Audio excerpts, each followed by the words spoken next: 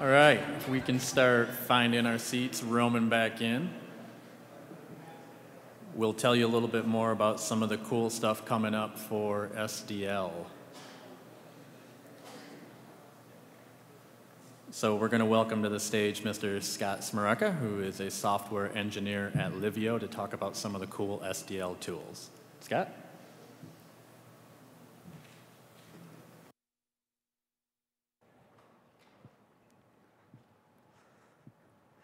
How's it going, guys? Getting a little tired? All right, cool. Um, so Joey talked to you a little bit about what Smart Device Link is. Um, I'm going to talk to you a little bit about the tools and how to contribute to Smart Device Link. Um, so these are the things that will help you get your job done a lot easier. So a little bit about me. My name's Scott Smreka, and I actually used to work on software for tanks, and I came over to Livio in 2012. We were working on getting apps connected to cars, which is why Ford actually acquired us in 2013.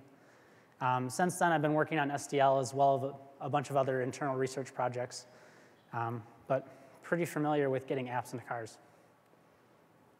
So we have lots of different tools. Some of them are already out there, um, like Slack, the developer portal, GitHub, um, and some are in development. So the generic HMI that Joey talked about, something we're working on, um, Manticore is something I'll talk about, as well as Shade. Um, and then I want to give you a little bit of a timeline of when you can actually use these newer tools. But everything we do is in the open, so you can see what we're working on all the time. Um, you can contribute to it, talk to us about it, yell at us for it, whatever. So let's talk about Slack just a little bit more. So Joey told you that you can go there and you should sign up right now, um, especially if you're doing the hackathon, because you can talk directly to us all the time. We're literally always on Slack. Sometimes it'll be 2 in the morning, we'll get a message, and you know, we're, we're right there. It's, it's kind of fun. Um, so is, not only is it the fastest way for you to find an answer to a problem that you're having trouble solving, um, but there's a lot of people there in a bunch of different time zones. Uh, I checked a little bit earlier, and it was 230 members, and it's already increasing. Um, the only thing that we ask is that you please try to solve your problem before you come to us because there's a lot of resources there to help you help yourself, but um, you know, we're always available. If you're not familiar with Slack, it's basically a bunch of channels. They're just different topics where you can talk to us about things. Um, quick note about that is developers tend to listen to the different topics that they're actually knowledgeable in. So an iOS developer would be listening on the iOS channels, Android on the Android. Um, so if you want to get your answer to your problem quickly, go to the channel that makes the most sense. If you put something in general, like I have it muted, so I don't even listen. I see Timur listens. I don't know how he does that. Um, we also have some tools in there, like uh, you can search the entire thing, um, and there's Slackbot who will try to answer some of your frequently asked questions, or sometimes just yell at you for weird things. Um, one of the coolest things about Slack is that developers are actually using it. So when we have these different tools, we don't just throw out as many as we can. We actually look at how you're using them and try to make it a better experience for you because we want you to find what you want to find as fast as possible. Um, so this is some traffic from last week. There was actually 43% of uh, 1,000 messages in the public chat. And then people tend to find out who's helping them and talk to them in, in private. Um, but that's awesome because all that information is there and searchable and available. And uh, like it's been mentioned a thousand times, there's a hackathon channel. Um, people are already using it. We've also been talking a lot about this developer portal, smartdevicelink.com. And it really is the first place that you should go to to find anything related to Smart Device Link. Um, we try to post as much content there as possible. And we kind of have two main goals. We want developers to go there to get their apps into vehicles, and we want OEMs and adopters of Smart Device Link to go there to implement Smart Device Link in their cars. So what's in the portal? There's guides, documentation, links to resources, the latest news. Um, and just today, we launched two more sections, the Developer Console, where you can sign up for app IDs that are global to the entire SDL ecosystem. So that app ID will work in any other um, OEM's SDL server or developer portal. And as well as partner information, which is basically a page for each OEM who adopts Smart Device Link, um, telling you how to get in touch with them, how to get your apps in the cars, and it's just an easier way for them to kind of direct you to their process from the single portal of smartdevicelink.com. I'm to talk a little bit about each section. I hope it's not boring. I'm walking you through the website, but I want to kind of point out what kind of information is there. So we have a lot of guides that explain some of the common and more complicated tasks, such as getting started all the way to video streaming. And we curate this based on um, what developers are asking us. So if you really can't find what you're looking for, or you're having trouble you know, going through the documentation and understanding something, and you're talking to us, we're going to try to make our guides better, and we'll also accept guides from you to help you get started faster. Um, so those are all under the Learn tab. As far as documentation goes, we have comprehensive doc guides or docs for Android and iOS. They're auto-generated from the code, um, so developers actually update them. Um, so classes, enums, protocols, all that stuff. We have a HMI portion, and this is describing how to get an OEM's user interface connected to SDL core. And um, this is actually extremely important um, if you're an OEM, and hopefully it has all the information possible there. Um, if it's missing something, let us know. But everything from WebSockets to text-to-speech, voice recognition. In the SDL server portion, um, someone mentioned talking about security earlier. You can learn all about policy tables and how policy table updates happen. Um, so an SDL server basically curates uh, a giant JSON document that is then downloaded into the SDL core of a vehicle, and then that's used to govern how applications access different portions, different modules of SDL in a vehicle. Um, so each OEM, when Ford talks about turning on and off cars or apps, they all do this through the SDL server, and it's all documented right here. Um, and then there's Shade, which is something I'll talk about later on in this presentation. Um, and there's API documentation on how to integrate with this system, and uh, I'll talk more about it later on. So one of the new things that we launched today was the Developer Console, which is kind of um, the first start to getting your information uh, synchronized with all these different OEMs as uh, easily as possible. Currently, you can go there right now to create an application ID, which you can then copy over to Ford's developer portal um, or hopefully in the future it'll be more automatic than that. There's also some settings in there to help making the site a little bit easier. Uh, the code block themes, languages, um, and also your user information so we can send you updates about um, what's new, um, you know, whatever, whatever else you may be looking for, we can send out in news. And uh, you can also opt out of that if you don't care. Um, the partner pages, like I said, are new. So an OEM can go in and create and manage a page to show you um, just how to get in touch with them and what kind of vehicles are supporting Smart Device Link. Uh, all these questions that you probably have already asked Ford. When other OEMs come on, they'll hopefully, hopefully have those answers here as well.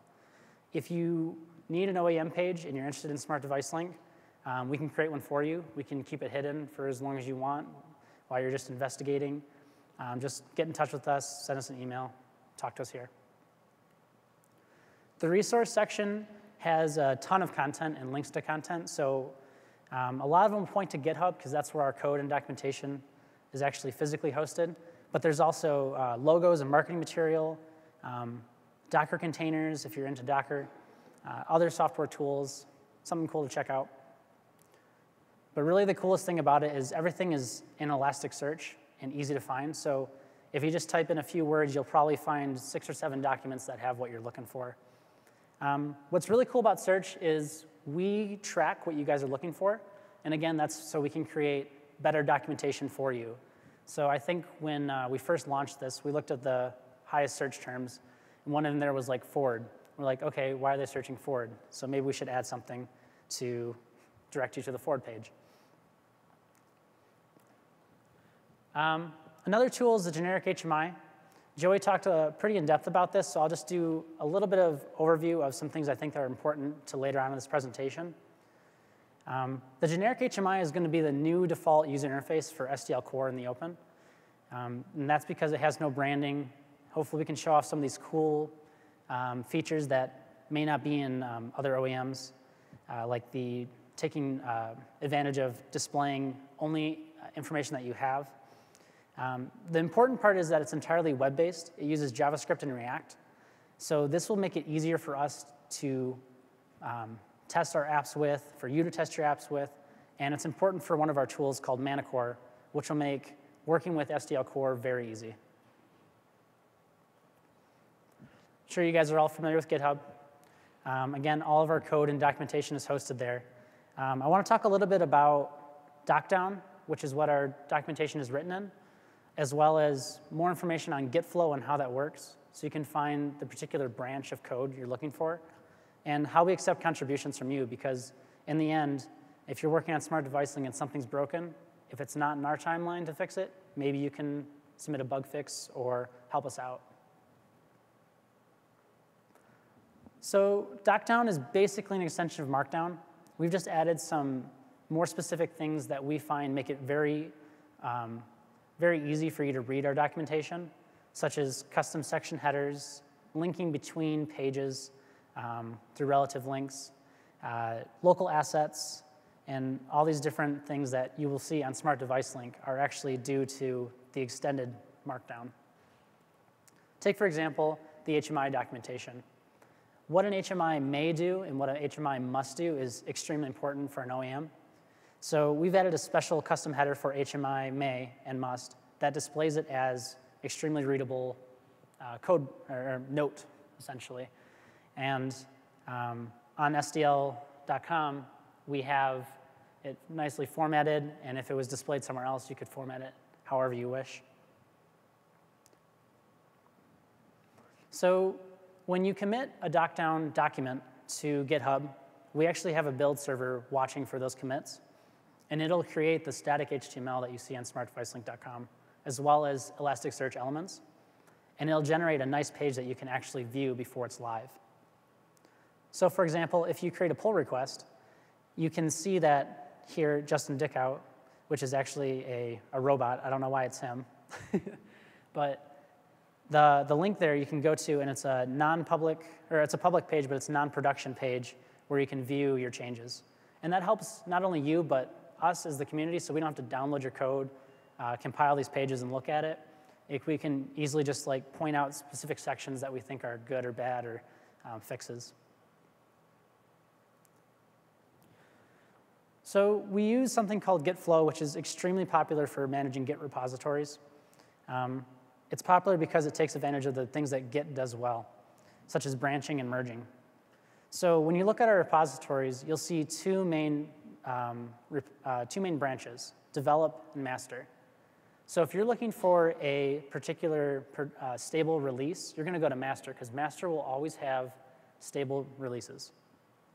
If you're looking for some of the latest features that we may be talking about, but you don't see in master, they're in develop. Develop hosts all the latest features that are complete but just unreleased. So don't be afraid to use develop um, to work with your apps um, or to branch off of. Develop should be pretty stable. There's other temporary branches that you might find, and these would be considered a lot more unstable or in development. Um, so those are feature releases and hot fixes. So in a feature branch, it's exactly as it sounds. We're basically developing a brand new feature for SDL. Um, it branches straight off develop and will only exist as long as we're developing the feature. Once it's complete, we'll merge it back into develop. A release branch, again, sounds like it is. Um, it'll branch off to create a brand new release, hot fixes, crossing I's, dotting T's. That's backwards, dotting I's, crossing T's, crossing T's. Um, and that'll merge out of develop and then back into master and develop. And finally, the one that's probably the most re relevant to you if you're actually uh, helping us out to fix a bug, a hotfix branch. This will branch from master. Um, you can basically fix whatever you need to. We'll make sure it's all good, test it out real good, and then we'll merge it back into master and develop. So now that you kind of understand how Git flow works, um, and Joey talked about our evolution process, I'm going to take you through an actual contribution and the steps you you would need to take. So as mentioned before, there's a contributor license agreement. Um, I'm not a lawyer, but it basically says that we have a right to use your code. You can't revoke anyone else's right to use the code, and we can't sue you if your code is bad, which is pretty important. Um, so you'll need to sign that. After you've done that, if you're adding a feature to Android, iOS, or Core, um, you'll need to follow the evolution process. And this will prevent you from trying to work on a new feature that perhaps doesn't fit in SDL um, or wasting your time with that, which has happened to us as well. Um, so go through that process, and once it's approved, um, go to step two. So um, most of the time, there'll already be an issue on GitHub for whatever you're working on or trying to fix. But if there's not, go ahead and create one. And you'll, you'll use this issue um, in the next one to create the name of your branch that you'll be working on. So locally, you'll want to create a feature or a hotfix branch. Um, the name should be issue, the issue number, and then if it's a feature, the feature name. And these are the git commands to do that in case you're really bad at git. Um, and a hotfix branch should merge from master, and again, the, the feature branch should merge from develop. The next step would be to create a pull request. This is where the community is going to know what you're working on. And basically, you're just going to tag it as work in progress and load that up with as much information as possible. This could be links to the issues that you've created, documentation, your pull request on the evolution process. Um, this is, in the end, what's going to be reviewed and determine whether or not your contribution is accepted. So finally, go ahead and start coding. Um, commit in logical units so we can understand what's happening, what's changing where. Um, and don't forget to update any unit tests that touch the code that you've changed. When you've finished, the continuous integration should show whether or not your unit tests are passing. Remove that uh, work in progress tag, and then let one of us know that it's ready for review. So simply just a at smart device link slash Android, my feature's ready. After that, one of the members of the SDL team will review your work and work with you to try to get your hotfix or feature merged um, into the appropriate branch. So it's actually, there's a lot of steps, but it's pretty easy to contribute. Um, if you have any questions, we're always on Slack, and it should be fairly straightforward in the documentation on the contributing guide as well. So let's talk about something that's not boring, Manticore. Uh, Manticore is basically going to change how you use SDL Core um, and test your apps with different kinds of HMIs. So Manticore uses Docker to automatically create an SDL Core and HMI in the cloud for you. So if any of you have tried to get SDL Core to work locally, you've probably run into dependency hell, uh, messing around with different types of virtual machines, um, contacting us trying to get it to work. Um, so this will take care of all of that in the cloud for you.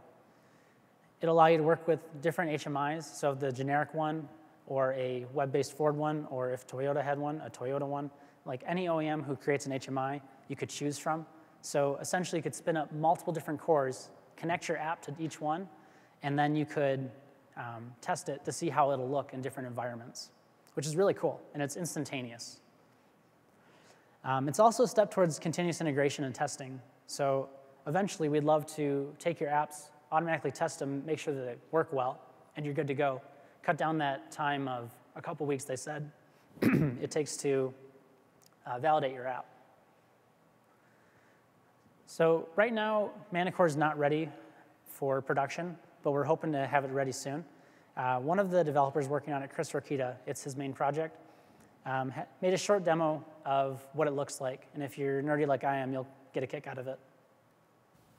Hi, I'm Chris Rokita. I'm from Livio, and this video is a demonstration of a project in development called Manticore. Manticore is a distributed system that allows a user to request for an automated installation and setup of the Smart Device Link Core project and an HMI.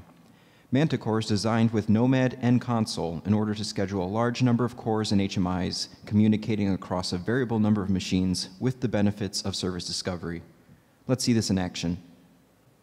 This machine represents the client. I have a simple web app that has a button that will ask Manticore to create a core and Apologize. The video is not actually playing. I'm just going to pull it up in YouTube.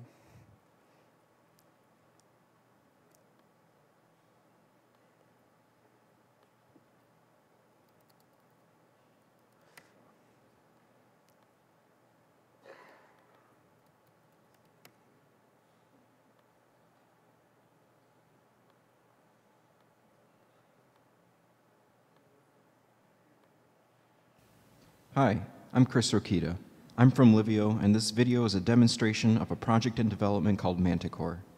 Manticore is a distributed system that allows a user to request for an automated installation and setup of the Smart Device Link Core project and an HMI.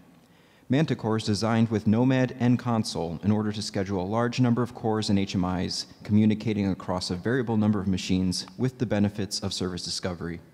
Let's see this in action. This machine represents the client. Hmm. I have a simple web app that has a button that will ask Manticore to create a core and HMI for me. The web app doesn't detect any services ready to accept requests, so I'll start running one. This machine represents the backend. I use Nomad to manage running jobs. I'm going to schedule a job whose purpose is to accept client requests and submit more jobs to Nomad in order to start core and HMI. The jobs here all run in Docker containers. Now, when I make a request, my client finds an IP address, which is the address of the service that I just ran. I can now see that my client request caused an additional core job and HMI job to be scheduled by Nomad. If I go check out my Consul server, I can see that it has found the services started by the job. The result of the request will eventually give me connection information that I need in order to connect my app. I paste the HMI address into the browser in order to see the HMI that Manticore gave me.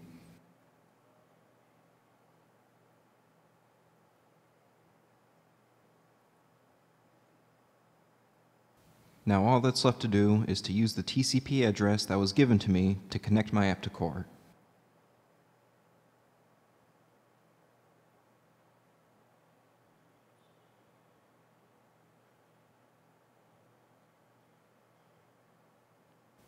As you can see, the HMI is receiving messages from Core and responds to button presses.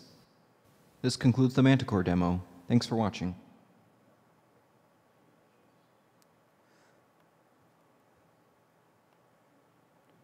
Cool.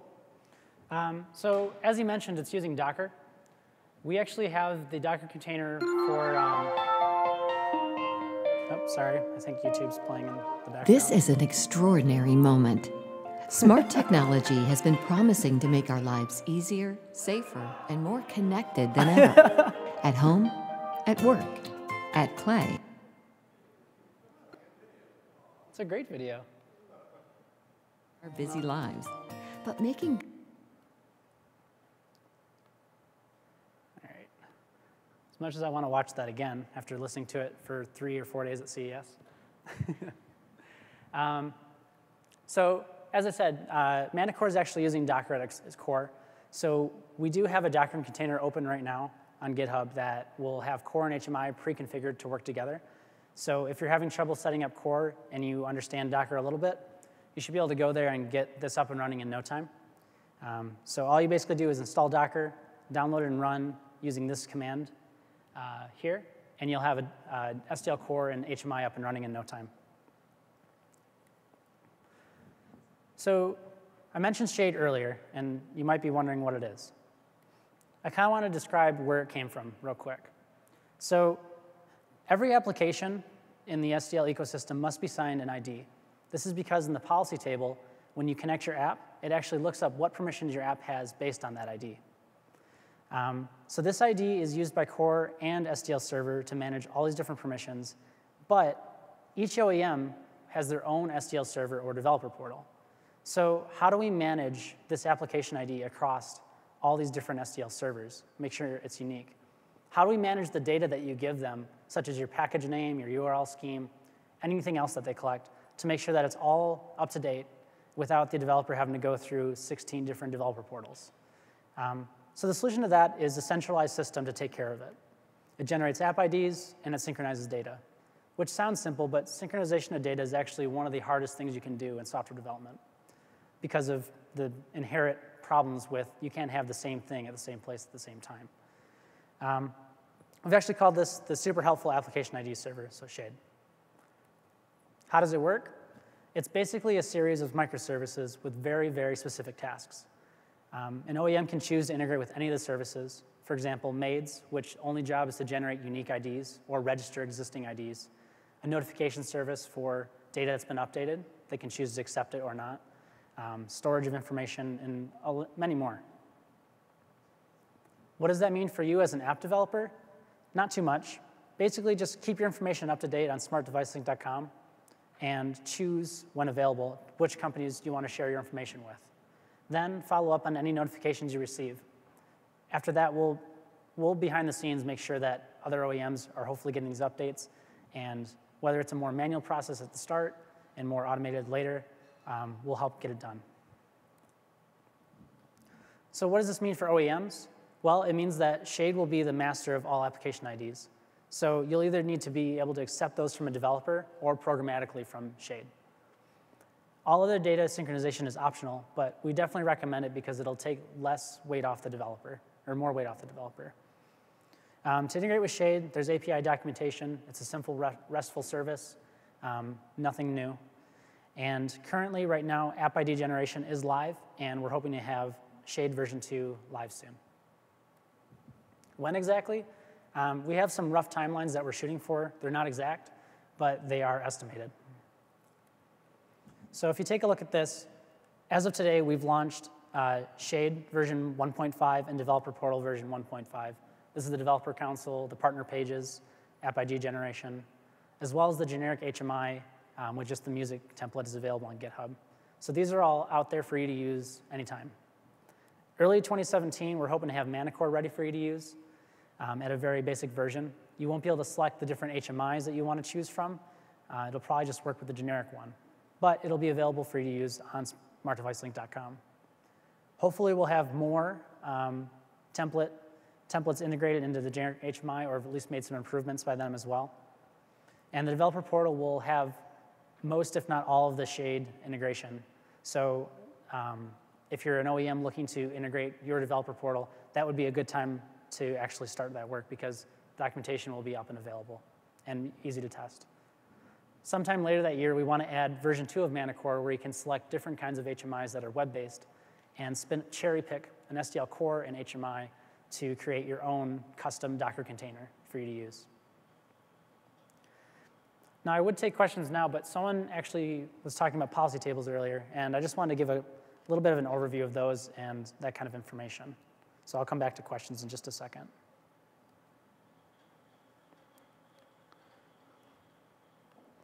You bear me with me for just a moment, get this back up.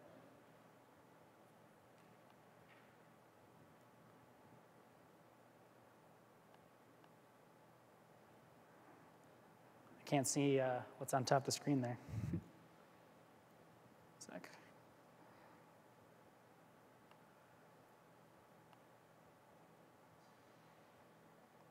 Sure, we'll just go this way.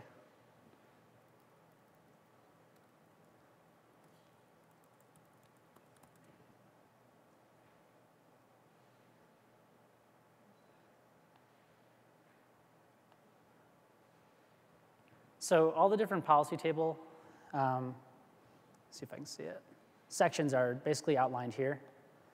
Um, see if I can pull up an example.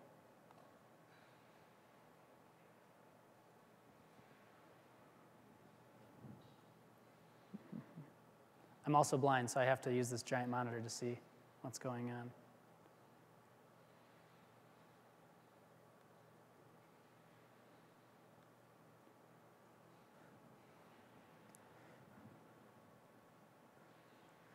Okay, here we go. So the, the policy table is basically a giant JSON document. And based on your application ID or the default that you get, you have a lot of different fields defining what your app can and cannot do. So these are different app IDs that are examples. And you can see that these have the default policies as well as some other basic content. So this one right here is default. Um, that'll give you access to the default function groups. So that's like um, data for the vehicle, um, if we had RC implemented in this policy table, it might say what safe modules you can access. And when I say safe modules, I mean things that wouldn't necessarily uh, harm the car, so you can't like unlock the door. Um, so those are controlled very, very specifically by the OEM, and if the app does not have access to those function groups, they can't access those features. In fact, if an application gets revoked because somehow they, um, they were granted permissions that they probably shouldn't have had. They even have a value of null, which will stop them from connecting.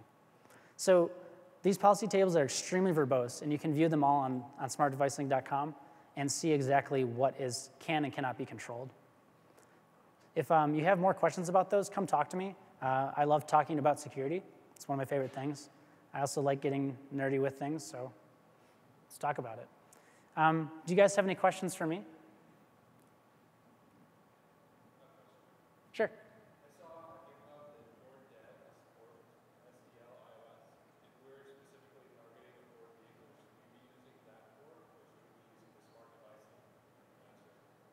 Um, so there's a specific branch. The question was, is there a specific branch for Ford or SDL? Oh, okay. Correct. Mm-hmm. So at a technical level, like Joey des- uh, described before, Smart Device Link is the same.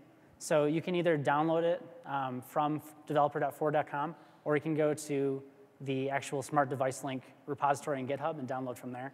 Either one should work.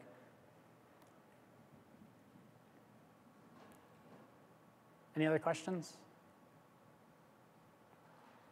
Okay, thank you.